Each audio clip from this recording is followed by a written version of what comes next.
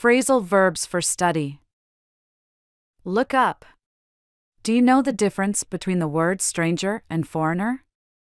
I think a stranger is someone you don't know, and a foreigner is someone from another counter. I'm not sure.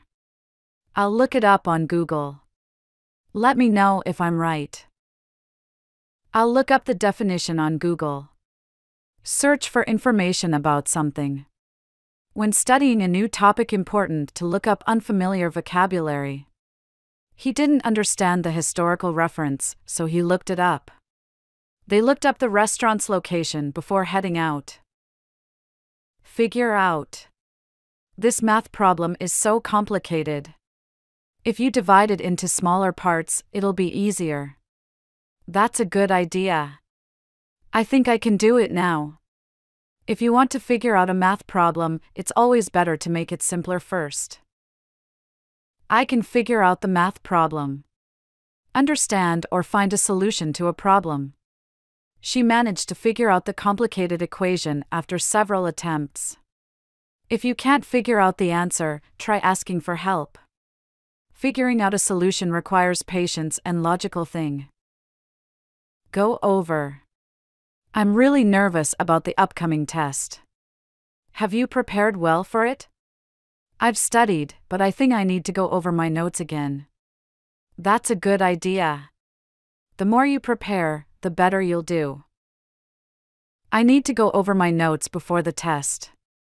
Review or revise something. It's good practice to go over your work before submitting it. She decided to go over her presentation one last time before the meeting. Going over your mistakes helps you learn and improve. Brush up. I used to be good at French, but I've forgotten most of it. I'm sure it would come back fast if you studied a bit. I'm not so sure. I'm a little rusty.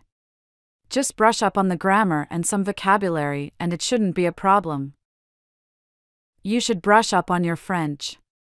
Improve existing skills or refresh one's knowledge.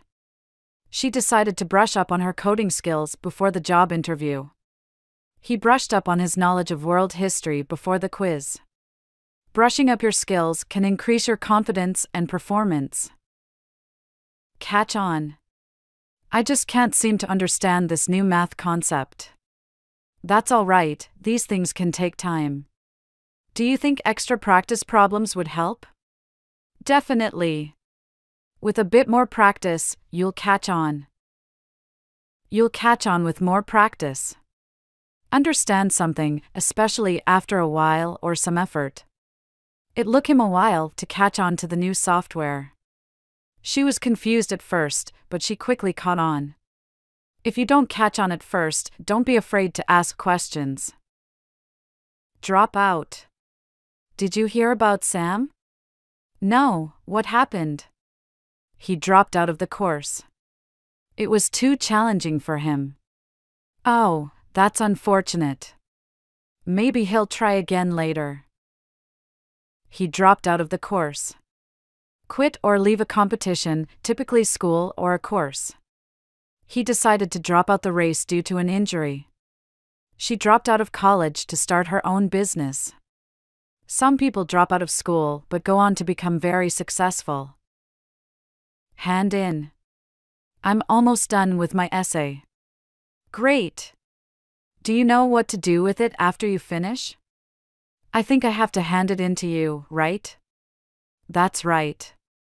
Please leave it on my desk. Don't forget to hand in your essay. Submit work for review or consideration.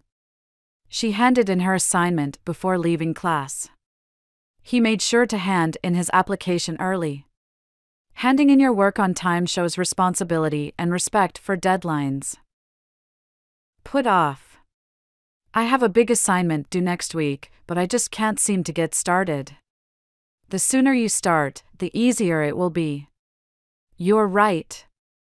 I'll start working on it today. I tend to procrastinate, but not this time. If you keep putting it off, you'll have a lot of pressure to finish.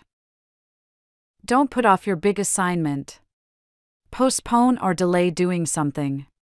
She decided not to put off studying for the test. He often puts off doing his homework until the last minute. Putting off important tasks can lead to unnecessary stress and poor performance. Quiz time. Find the correct verb to describe the situations. Pause the video for each question. Submitting an essay before the deadline. Turning in a project for evaluation. Giving your test paper to the instructor.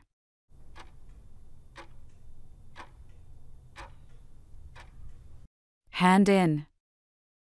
Reviewing lecture notes before an exam. Checking your work for mistakes.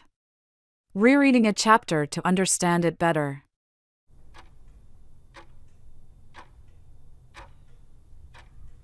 Go over.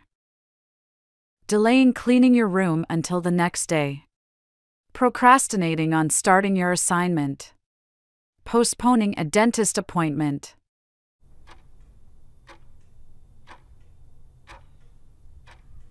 Put off. Searching for the meaning of a new word. Finding information about a historical event. Locating a place on the map.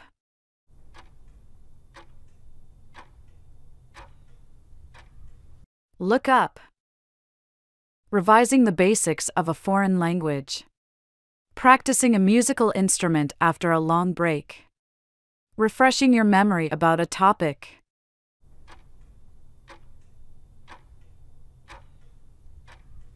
Brush up. Leaving a course because it's too challenging. Quitting a race due to an injury. Giving up on a project halfway through.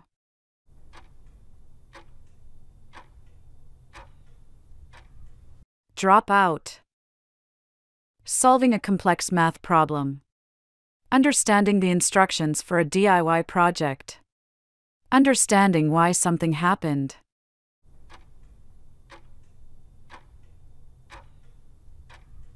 Figure out.